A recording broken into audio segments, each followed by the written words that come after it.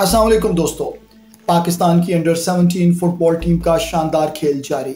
Saif under 17 championship के semifinal में जगह बनाने में कामयाब हो गई है पाकिस्तानी टीम आखिरी पूल मैच में पाकिस्तान ने श्रीलंका को बड़े मार्जिन से दी शिकस्त और अब सेमीफाइनल में मुकाबला होगा बांग्लादेश की टीम से। इस सिलसिले में मजीद तफसी अब से कुछ ही देर में।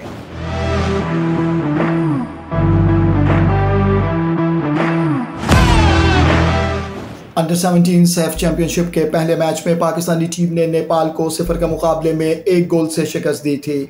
और उसके बाद पाकिस्तान का दूसरा मुकाबला भूटान की टीम से था, जो मैच तीन तीन गोल से ड्रॉ रहा था। और अब पूल के आखिरी मैच में पाकिस्तान का मुकाबला श्रीलंका की टीम से था। और शानदार खेल पेश किया पाकिस्तानी टीम ने इस मैच में। और पाँच एक से शिकस्त देने में कामयाब रही पाकिस्तानी टीम श्रीलंका को।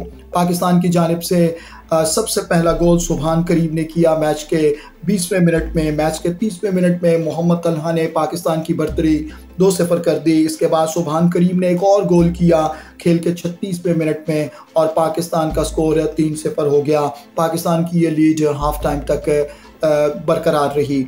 इसके बाद इस कदर दबाव था श्रीलंका की टीम पर कि दूसरे हाफ़ के आगाज़ ही में श्रीलंका के खिलाड़ियों ने ओन गोल कर दिया और पाकिस्तान की बर्तरी चार से पर हो गई।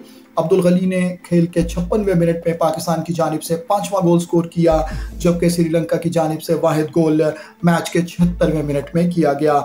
इस तरह इस शानदार फतह के बाद पाकिस्तानी टीम पूल बी में पॉइंट्स टेबल पर पहले नंबर पर आ गई और पाकिस्तानी टीम ने तीन मैचेस में सात पॉइंट्स हासिल किए।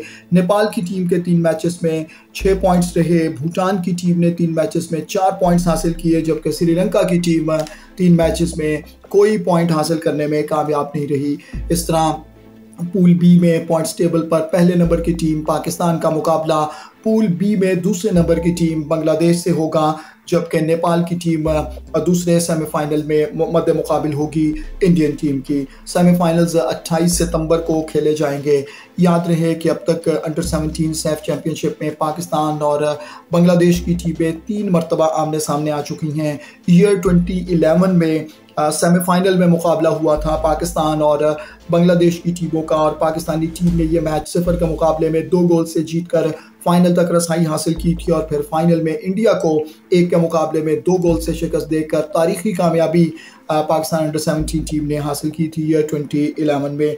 इसके बाद 2018 में एक मरतबा फिर पाकिस्तान और बांग्लादेश की टीमें आमने सामने आई थी और फाइनल में मद्द मुकाबल थी। ये दोनों टीमें और मुकर वक्त में एक सख्त मुकाबला हुआ। एक एक गोल से मैच पाकिस्तान और बांग्लादेश का बराबर रहा। तहम पेनल्टी किक्स पर बांग्लादेश की टीम तीन दो से पाकिस्तान के खिलाफ फाते रही थी।